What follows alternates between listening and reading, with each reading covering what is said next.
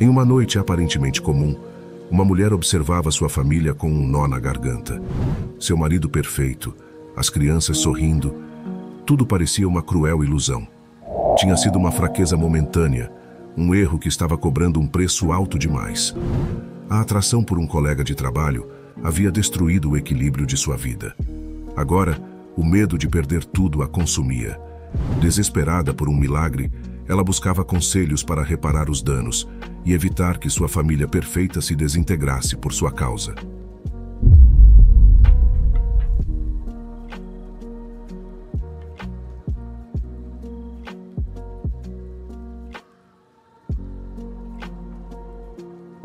Meu marido é um homem perfeito, mas eu me deixei levar por um cara mais alto e bonito do trabalho e acabei dormindo com ele. Preciso de conselhos sobre como manter minha família unida. Cometi alguns erros e o resultado disso vai destruir minha família, se já não tiver feito isso. Meu marido e eu somos casados há 12 anos. Estamos juntos há quase 16 anos. Ambos temos 34 anos.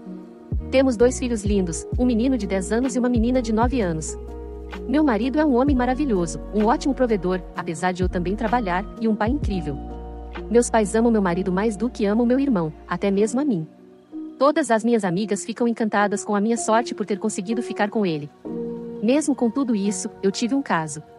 Conheci esse outro homem no trabalho. Ele trabalha no mesmo prédio que eu, mas em um escritório diferente, em um andar diferente. Ele era mais alto que meu marido. Passa mais tempo na academia do que meu marido. Ele não tem família, um queixo perfeito e esculpido, bonito como um modelo, etc. O outro homem começou a me dar atenção, e aos poucos, eu cedi. Decidi que o senhor mãe em casa não era suficiente para mim. Me convenci de que meu marido não estava me dando atenção suficiente. Depois de dois meses de flertes, o outro homem me levou para um quarto de hotel depois do trabalho e dormimos juntos. Foi a pior experiência da minha vida. Tudo era emocionante até começarmos a nos envolver fisicamente, e então tudo pareceu errado. Senti uma imensa quantidade de culpa e vergonha, e isso tomou conta de mim. Percebi que não era isso que eu queria, que estava cometendo um grande erro. Fui para casa. Em casa, meu marido estava brincando com as crianças. Eles estavam na frente da TV e meu marido estava fazendo palhaçadas para as crianças, fingindo lutar com uma espada imaginária contra um inimigo, e as crianças estavam rindo e se divertindo muito. Ele estava contando uma história ou algo assim. Fiquei lá parada e os observei por alguns minutos, depois fui tomar um banho, e nenhuma quantidade de água podia lavar a vergonha que senti. Então comecei a fazer o que podia para me redimir. Não tinha intenção de confessar ao meu marido, mas decidi que me tornaria a melhor versão de mim mesma para ele. Então começamos a nos envolver intimamente todos os dias. Comecei a cozinhar mais em casa, a ter noites de encontro novamente, porque meus pais ficavam mais do que felizes em cuidar das crianças com uma simples ligação. Posso dizer que nosso relacionamento estava melhor do que nunca. Seis semanas depois, o outro homem me abordou no trabalho e disse que queria repetir nossa sessão. Eu disse não, que foi um erro, e para me deixar em paz. Ele insistiu, e eu disse que amava meu marido, e que o outro homem não era nem metade do homem que meu marido é. Mais tarde naquele dia, voltei para casa, beijei meu marido, trocamos algumas palavras, e fui tomar um banho antes de sairmos para assistir a um filme. Quando saí do banho, percebi que algo estava errado. Meu marido estava olhando para o telefone e chorando. Perguntei o que estava acontecendo e ele me entregou o telefone. O outro homem havia enviado algumas mensagens detalhando como passamos o tempo juntos, como planejamos, capturas de tela de mensagens, o recibo do hotel, algumas fotos, etc. Meu marido perguntou se era verdade e fui sincera sobre tudo. Ele perguntou se eu tinha alguma intenção de confessar e eu disse que levaria isso para o túmulo. Tentei explicar que foi um erro, que me arrependi mais do que qualquer coisa. Que faria qualquer coisa para me redimir e implorei para ele não me deixar. Bem, ele saiu por dois dias. Não atendeu minhas ligações, não respondeu minhas mensagens. Tentei encontrá-lo no trabalho, mas fui informada de que ele tirou alguns dias de folga. Então ele voltou para casa para passar um tempo com as crianças e começou a fazer as malas. Disse que estávamos acabados. Que se eu achava que podia fazer o que quisesse e não sofrer as consequências, ele também podia fazer o que quisesse e que se danem as consequências. Ele então me disse quanto ele sacrificou por nós e por nosso relacionamento e nosso casamento. Ele nunca terminou a faculdade porque nosso filho nasceu, e precisávamos de dinheiro mais do que ele precisava terminar a faculdade. Ele abandonou amigos porque eu não me sentia confortável com eles. Ele me colocou à frente das próprias necessidades e desejos, passa mais tempo com as crianças do que eu, e embora ele ame as crianças de paixão, ele nunca tem tempo para si mesmo. Eu, no entanto, saio com amigas depois do trabalho, e com tudo isso, com tudo que ele faz por mim, eu tive a audácia de traí-lo. Ele me amava incondicionalmente apesar de todas as minhas falhas e problemas, e eu tive um caso. Ele não vê como pode passar a vida com alguém que não o respeita. Que ele deveria ter percebido que toda a atenção que dei a ele ultimamente era apenas culpa, e não era genuíno. Que é hora de ele se concentrar em si mesmo pela primeira vez e se mudou. Temos finanças individuais. Ele ganha quase três vezes o meu salário. Temos uma conta conjunta onde ambos depositamos dinheiro para contas, compras, etc. Temos outra conta onde depositamos para nossos filhos, e outra conta onde depositamos para emergências, poupança, etc. Ele recebeu o salário na semana passada e prontamente depositou seus valores habituais em nossas contas conjuntas, então isso foi um alívio. Isso me faz pensar que ele não está completamente fora dessa confusão que eu criei. Devemos nos encontrar amanhã e discutir onde estamos e qual será o futuro. Quero deixar absolutamente claro para ele que cometi um erro horrível e farei qualquer coisa que ele queira de mim. Vou assumir mais responsabilidades em casa, reduzir meu tempo com amigos e focar mais nas crianças. Quero que ele volte a estudar, se ele quiser. Estou tão desesperada que estou disposta a permitir que ele durma com outras mulheres, se isso é o que ele quer. Só não tenho certeza de como falar com ele sem soar manipuladora. Ele nunca mencionou divórcio em meio a tudo isso e não contou a ninguém, até onde sei. Eu contei a minha mãe pedindo conselhos e ela ficou muito decepcionada comigo. Pedi para ela não contar a ninguém, e pelo que sei, ela não contou. O fato de ele não mencionar o divórcio me dá alguma esperança, mas estou com medo do que o amanhã significará e do que ele pode me dizer. Talvez amanhã ele me peça o divórcio. Só preciso de alguns conselhos. Meu caso foi um choque de realidade. Eu não quero perder a melhor coisa da minha vida. Qualquer conselho será apreciado. Atualização. Acho que vou descobrir o que aconteceu mais cedo do que pensei. Ele me pediu para levar as crianças para a casa dos meus pais pelo resto do dia e encontrá-lo em algumas horas. A coisa boa é que ele quer se encontrar em um lugar onde costumávamos ir quando éramos mais jovens. A coisa ruim é que todos os preparativos que eu estava fazendo, escrevendo a carta, como alguns comentaram, etc., terão que ser deixados de lado. Obrigada. Você quer consertar as coisas depois de já ter traído? Se você estava tão insatisfeita, por que não tentou consertar as coisas antes de destruir a vida de alguém? Você realmente não merece uma segunda chance. E se ele decidir continuar o relacionamento, garanto que isso sempre estará na mente dele. Sim, as pessoas cometem erros, mas o seu não foi um erro. Você passou dois meses construindo um relacionamento emocional com esse homem antes de decidir se envolver fisicamente. Você é realmente terrível, e espero que aprenda sua lição e trate melhor aqueles que ama no futuro. Não havia nada para consertar antes do meu caso. Não havia nada de errado com nosso casamento. Sem brigas e sem ressentimentos. Agora eu quebrei isso e precisa ser consertado. Sim, sou uma pessoa terrível. Isso não foi uma lição, foi um ponto de virada. Fui egoísta e estou pagando por isso, e qualquer preço que possa me custar, estou disposta a pagar para ter meu marido de volta em casa. Como outro homem conseguiu o contato de seu marido? Ele foi até a recepção no meu trabalho e disse que não conseguia falar comigo, e se eles por acaso tinham o telefone do meu marido ou dos meus pais porque era uma emergência. Atualização. Meu marido está ciente de tudo que vou escrever abaixo. Como mencionei da última vez, meu marido me ligou e pediu para eu deixar as crianças com meus pais, depois pediu para me encontrar com ele algumas horas depois. Nos encontraríamos em um restaurante agradável que frequentávamos quando éramos mais jovens, onde ele me levou no nosso primeiro encontro. Inicialmente, pensei que fosse positivo ele querer me encontrar em um lugar familiar onde temos história. Mas à medida que as horas passavam, eu tinha certeza de que era apenas justiça poética, que o lugar onde tivemos nosso primeiro encontro seria o lugar onde ele terminaria tudo. Como um ciclo que termina onde começou.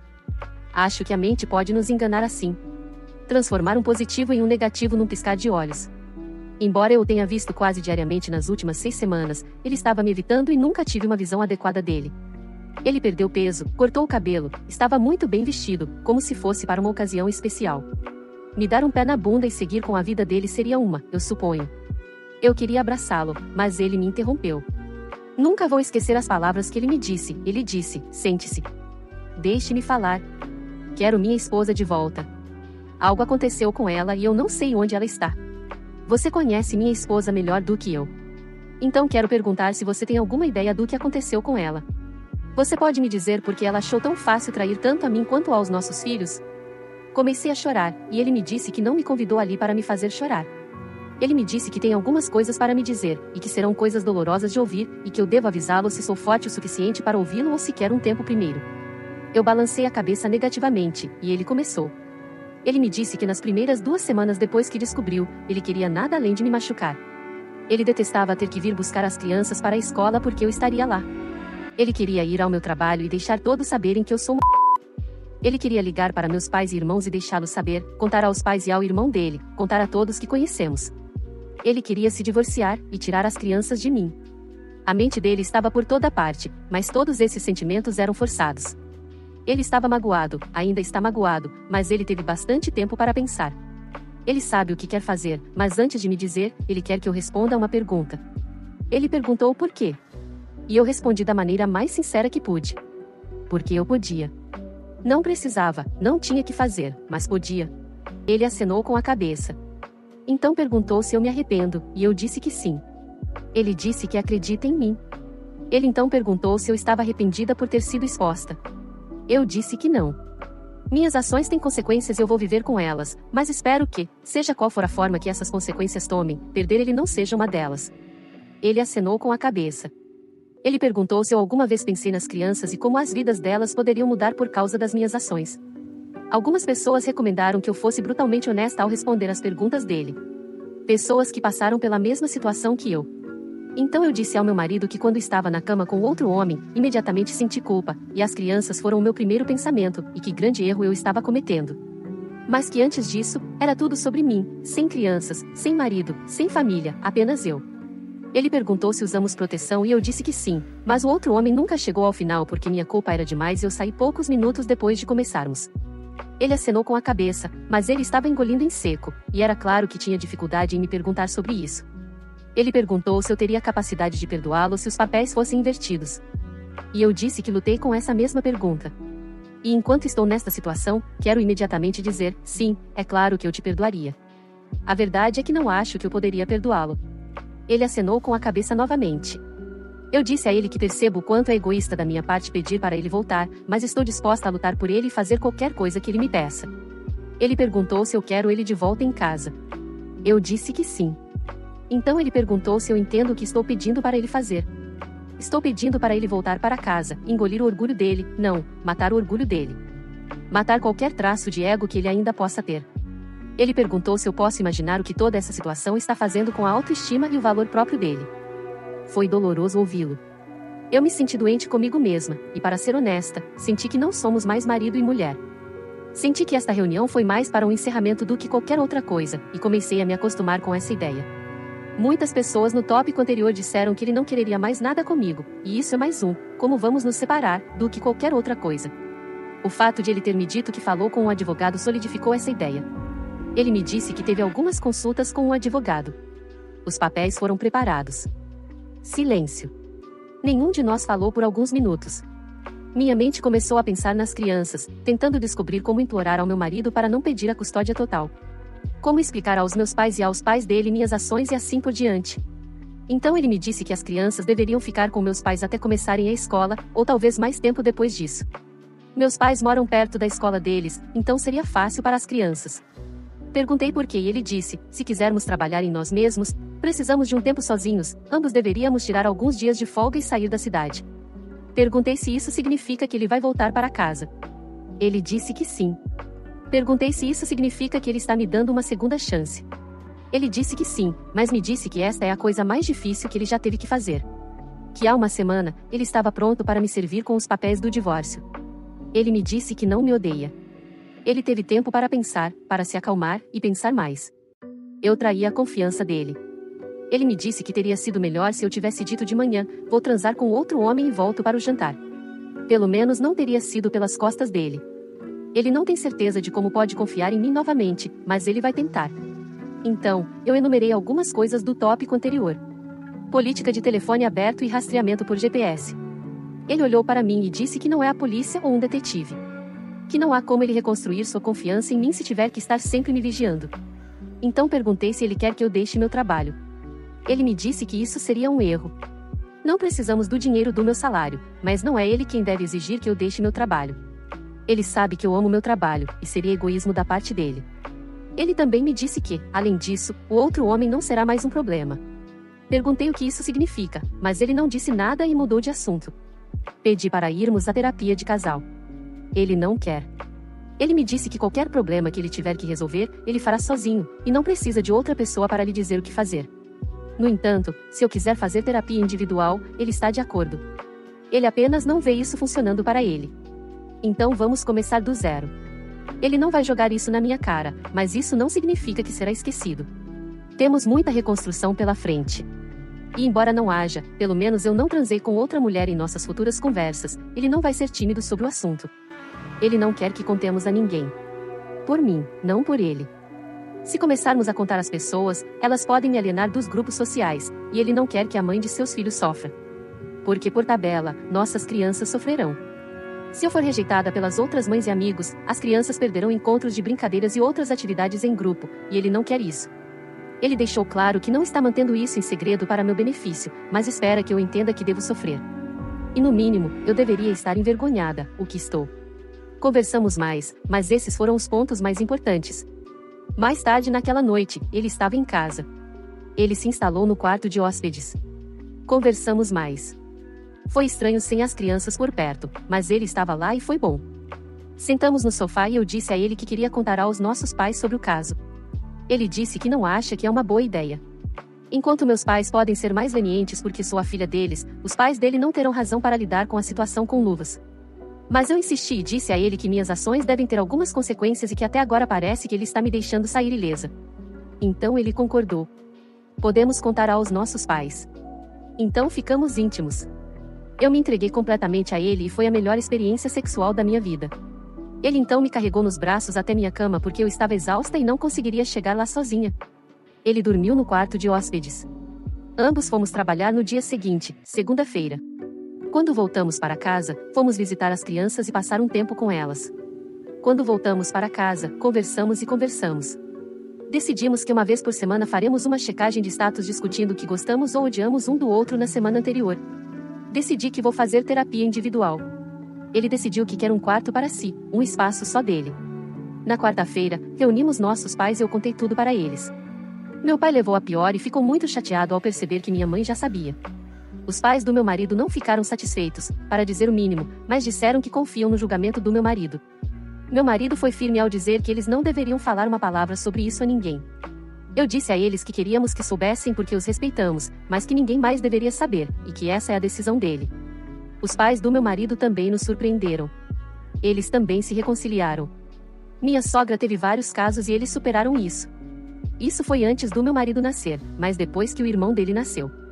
Meu marido brincou e perguntou se ele foi um bebê que consertou isso. Ambos tiramos uma semana de folga do trabalho. Fomos para uma cabana nas montanhas, onde podemos ter paz e tranquilidade e fazer caminhadas, apenas nós dois. Ainda não tivemos uma briga, e é estranho porque li que as brigas são frequentes após um caso, mesmo durante a reconciliação. Ele não me perguntou mais nada sobre o caso, além dos detalhes do nosso encontro no domingo passado. Temos alguns livros que levaremos conosco para ler sobre casos e como reconstruir depois deles. Isso é tudo o que tenho a dizer sobre isso. Peço desculpas pela extensão, mas senti a necessidade de conversar com alguém antes de começar minha terapia quando voltarmos. Obrigada àqueles que me deram conselhos. Se qualquer parte da história ou do seu post original for verdade, desejo a você e seu marido o melhor, mas apenas pelo bem dos seus filhos. Seu marido merece ter de volta a vida que tinha antes de descobrir que estava casado há 12 anos com alguém que transaria com um cara no trabalho só porque podia. Seu marido é ou um santo ou um completo idiota. Você tinha uma vida perfeita e jogou uma bomba nele sem motivo. A maior parte do trabalho é minha agora. Eu sou uma hipócrita. Eu sei que se eu fosse ele, não haveria segunda chance. Por mais doloroso que seja reconhecer isso, também estou ciente de que uma grande parte da decisão dele é por causa das crianças. Ele não dirá isso diretamente, e eu sei que ele vai ler este post. Eu farei tudo o que puder para que as razões dele para ficar valham a pena. Esta semana, conversamos mais do que em anos. Conversas sérias, conversas felizes, e eu chorei muito. Acho que isso nos tornará mais fortes. Nada te desperta para a realidade como essa experiência específica, e te faz perceber o que é importante. Obrigada pelos votos de felicidade. Atualização final. Ainda estamos juntos. Havia uma atmosfera de incerteza acima de toda a esperança que eu estava ilustrando na minha atualização de 11 meses atrás, porque todos nós já lemos posts sobre relacionamentos aqui. Estou ciente de quão poucos casamentos sobrevivem depois que um dos parceiros trai, mesmo que a reconciliação seja tentada. Tivemos uma grande briga em algum momento, não relacionada à minha infidelidade, e quando acabou e pedimos desculpas, percebi que ele nunca mencionou os eventos do meu caso, para obter vantagem sobre mim durante a briga ou depois. Conversamos sobre o evento várias vezes longamente, mas ele nunca usou isso como alavanca em brigas ou quando queria algo. Ele ficou irritado comigo porque eu tinha vários livros sobre como consertar um relacionamento após a infidelidade, e ele disse que quer que eu faça as coisas porque quero, não porque um livro diz. Se eu seguir o que o livro diz para fazer, como ele sabe que sou genuína, e não estou apenas seguindo os passos?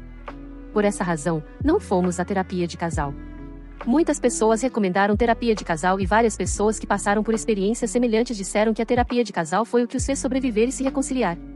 Dito isto, serei honesta, nunca me senti pisando em ovos ao redor do meu marido, ou que ele queria que eu fosse toda submissa e mansa ao redor dele. Ele foi muito honesto comigo e falamos sobre nossos sentimentos longamente. Nossa vida íntima se tornou mais apaixonada, e como mencionei antes, ele se tornou mais possessivo na cama. Minha cunhada está se divorciando e atualmente está morando conosco. Seu marido foi revelado como um traidor em série. Ele engravidou outra mulher e foi assim que tudo veio à tona. Minha cunhada é muito esperta, e não demorou para ela descobrir sobre o evento de um ano atrás. As únicas pessoas a quem contamos foram nossos pais, e eles não falaram com mais ninguém sobre isso. Dizer que minha cunhada desenvolveu um ódio apaixonado por mim seria um eufemismo. Passamos de muito boas amigas para fogo e enxofre. Eu a entendo completamente, e felizmente, ela mudou de ideia sobre mim. Mas não foi fácil passar de vadia para, eu ainda te odeio, mas você é minha amiga, e seu marido está no meu pé para te perdoar. A situação financeira dela não é boa. Ela não estava trabalhando, e seu marido era a única fonte de renda na casa deles. Ela não tem para onde ir, então vai morar conosco pelo futuro previsível. Seria impossível para ela morar conosco se não se tornasse civilizada. Felizmente, ela testemunhou meu caminho para a redenção e tivemos uma conversa sincera. Voltamos a ser amigáveis agora. Três meses atrás, do nada, completamente inesperado ou planejado, descobri que estou grávida, Suponho que, com a quantidade de intimidade que temos compartilhado neste último ano, era inevitável. Meu marido está nas nuvens. Meus filhos não estão tão empolgados, mas a ideia de que terão um irmão ou irmã está crescendo neles. Meu filho foi informado por amigos na escola que nós, os pais dele, agora só teremos tempo para o bebê e vamos ignorá-lo e parar de amá-lo. Meu marido me disse que parecem haver desafios à nossa frente maiores do que o evento daqui para frente, e como lidamos com eles vai nos definir aos olhos de nossos filhos. Acho que meu filho levou a provocação na escola mais a sério do que o esperado porque, há um ano, quando meu marido voltou para casa, fizemos nossos filhos ficarem com os pais dele ou meus pais por cerca de um mês enquanto resolvíamos nossos problemas. Esperávamos que brigássemos ou gritássemos um com o outro ou quem sabe o que, e não queríamos que nossos filhos testemunhassem isso. Felizmente, nada disso aconteceu, mas meu filho levou aquele mês a sério, não nos vendo tanto quanto estava acostumado. As crianças na escola disseram a ele que estávamos nos divorciando, isso é algo para o qual vamos à terapia como família, e isso ajudou muito nossos filhos. Em resumo, depois de muitas conversas sinceras, está claro para mim e para meu marido que não estamos tendo outro bebê para consertar nosso casamento. Não planejamos isso, mas o bebê chegará em menos de seis meses. Um ponto sobre o qual não quero falar muito, mas tenho sido muito questionado em pedidos de atualização, é sobre o outro homem e o que aconteceu com ele. Mencionei que meu marido contatou o RH da empresa dele, enviou uma carta e me contou que tudo foi resolvido. Tudo o que sei é que ele não está mais trabalhando no meu prédio. Seja porque foi demitido ou transferido para outro lugar. Meu marido disse que o outro homem tentou me chantagear, e porque a chantagem não funcionou, ele enviou uma mensagem ao meu marido com as provas do nosso caso. A empresa dele não ficaria feliz em saber que um de seus funcionários estava envolvido em chantagem, mesmo de baixo nível. Para ser honesta, eu realmente não me importo com o que aconteceu com o outro homem, e não fiz nenhum esforço para descobrir. Gostaria de agradecer aqueles que me enviaram palavras gentis de apoio e aqueles que tiveram menos palavras gentis a dizer. E ao cavalheiro que me enviou uma mensagem há uma semana para explicar que meu marido está mais possessivo comigo no quarto porque ele não me vê mais como esposa, mas como uma amiga com benefícios. Como mencionei antes, meu marido está ciente de que estou escrevendo esses posts, e ele deu risada de algumas das mensagens mais exóticas que recebi. Isto nos leva ao fim desta história. É incrível quando as pessoas tomam decisões ativas que podem arruinar suas próprias vidas chamam isso de erro. É sempre essa desculpa, mas não. Ela começou um caso emocional, conversou com outro cara, fez planos, encontrou-se com ele, fez sexo, não confessou tudo. Tentou bombardear o marido de amor para amenizar sua própria culpa e pretendia nunca confessar. Como isso é um erro? Pelo que vejo, é uma série de traições e atos de desrespeito. Ela não merecia a segunda chance mas espero que ela não estrague tudo de novo pelo bem do marido e dos filhos. Seu marido desistiu de sua faculdade, abandonou os amigos, ficava em casa enquanto ela saía com as amigas, colocou as necessidades dela acima das dele. E tudo isso por alguém que não o teria perdoado se os papéis fossem invertidos. Esse homem não tem respeito próprio algum, e na minha opinião ele está cometendo um erro ao perdoá-la. E você? O que achou dessa história? Você acha que o marido errou em perdoá-la? E que conselho você daria para a autora? Me deixe saber nos comentários. Se você gostou desse vídeo, demonstre seu apoio ao canal deixando seu like e um comentário. E considere se tornar um membro do canal clicando aqui embaixo no Seja Membro. Muito obrigado aos membros do canal pelo apoio e obrigado a todos por assistirem até aqui.